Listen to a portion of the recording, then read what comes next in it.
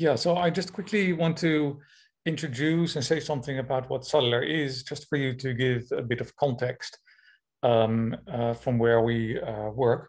So the uh, SADiLaR, the South African Center for Digital Language Resources, is um, a country-wide uh, research infrastructure. It falls within a, a, program called SARIR, the South African Research Infrastructure Roadmap, uh, that's funded by, uh, by the government, Department of Science and Innovation.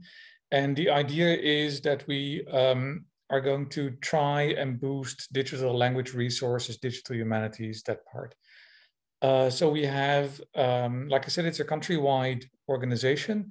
We have a hub uh, at Potchefstroom uh, that's kind of linked to the Northwest University, but we also have several nodes, and each of these nodes have their own uh, expertise. So there's CTEXT, um, it focuses on on um, say computational linguistics. Um, there's ICELDA, which is um, a multi uh, organization um, organization uh, that's focused focusing on language testing.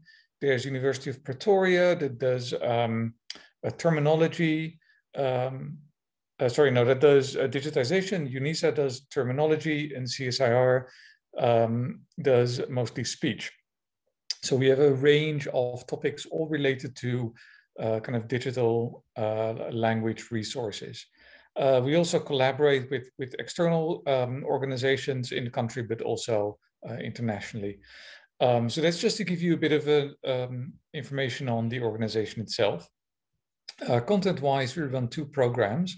One is the digitization program that focuses on the creation of uh, linguistic resources or computational linguistic resources.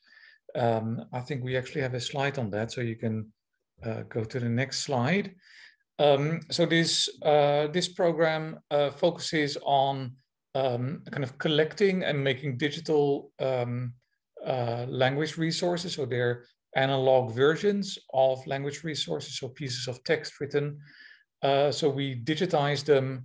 Uh, we also make them uh, available. So you can go to a repository and you can actually download and use these resources. So it's um, uh, on the one hand, data, uh, language collections, but it's also tools that you can use to, um, to analyze uh, language resources, so computational linguistic tools. And we try to make them as available uh, as possible, so open access if at all possible. Um, and we also help people make available these language resources. So what do they need to do to make this available? We have this repository um, and we, they can upload, so people can upload their resources and we can then make them available um, to the to the overall public. We also have a set of what we call technology portals, uh, essentially websites where you can directly use different tools. So you can upload your text and analyze the text, these text, or search in uh, large text collections, language collections. Uh, machine translation is there as well.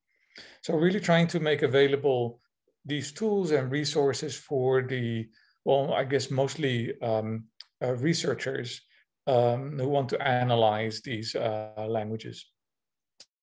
Uh, can you, another, can you go to the next slide? so the idea is that um, people use these resources um, are probably working in the field of digital humanities, the broad field of digital humanities. Uh, so the second program uh, tries to create awareness and provide support for digital humanities as a research field in South Africa. So at the moment, uh, a lot of people work in the field of digital, digital humanities in South Africa, or at least they don't realize that they do.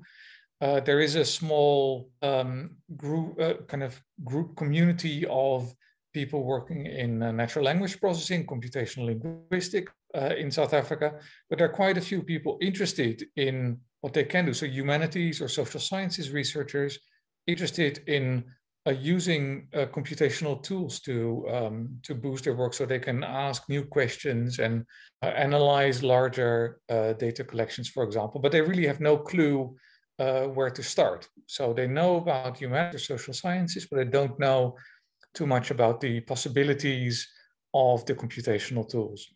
Um, so why within this program is to um, to show them what tools are available, what what what um, uh, language collections uh, are available, and how they can use that in their research.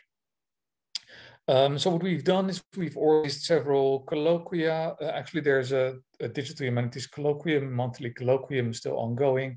We've organized workshops, conferences, just to increase the visibility um, uh, of digital humanities uh, in the country, but also to provide support um, uh, on, on these tools and to try and build networks and collaborations in this field. So the idea is reeling off these humanities and social sciences researchers, right? So trying to get more computational skills uh, in them. Uh, can you go to the next slide? I think there's one more slide. Okay, so what we've done uh, specifically to try and build uh, research capacity, digital humanities research capacity is in the past we've organized training events.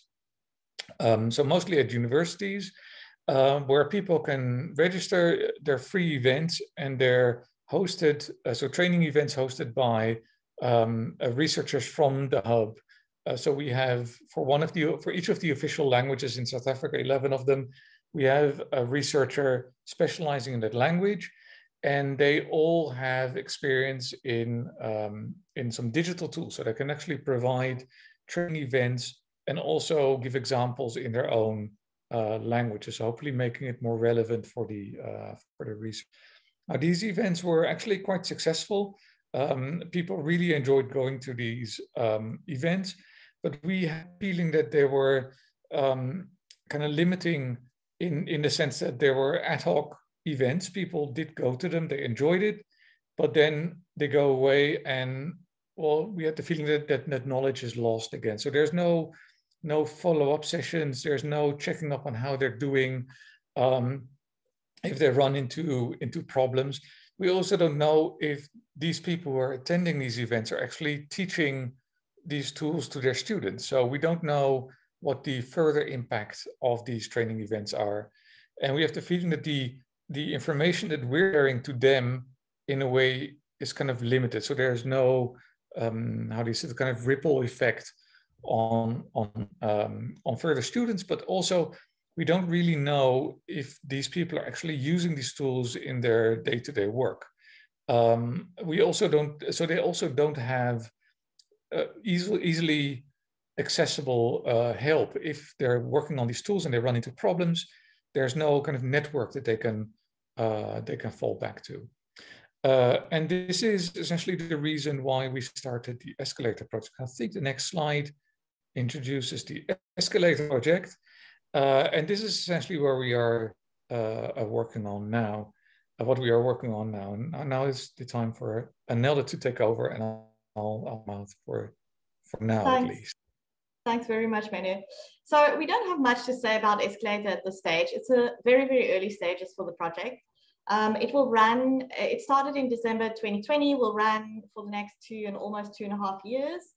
Um, and we have a website, we have an updated website, web link, I don't know how that one slipped in, but that website is available and we're hoping to share um, all our experiences and the progress of the, of the program and any information that might be useful to our community on the website.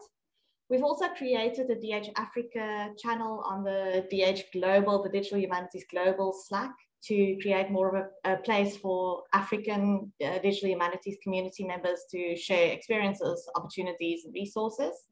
Um, thanks, Menno, for sharing that link. And then we have a Slack, uh, more focused, a Slack workshop more focused on South Africa specifically, DH CSAZA, and anyone can join that who is interested in communicating about opportunities, projects, resources, skills, meeting the community.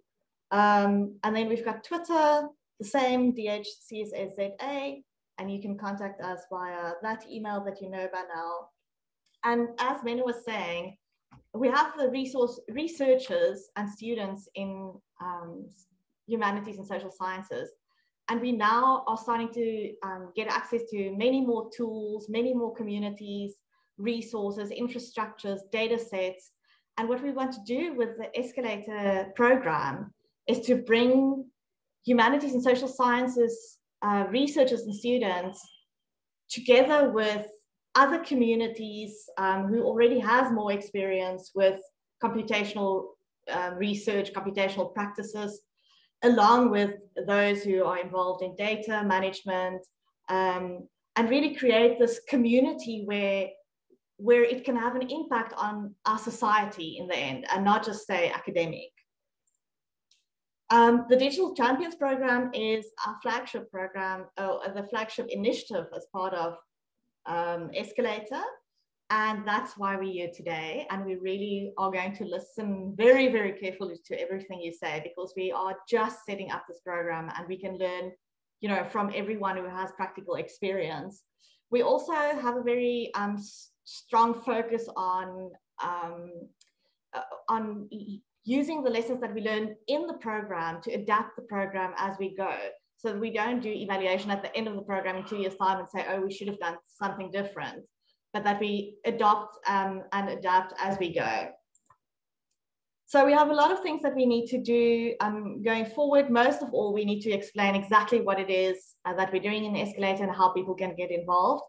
Um, and that should be, all of that should be ready by, before the end of the month. And then we hope to kick off with the Champions program in about a month and a half, month and a half, two months, um, depending on how things come together. Um, that's all from Escalator for now, and we'll we'll talk more about it um, throughout the rest of the, the session.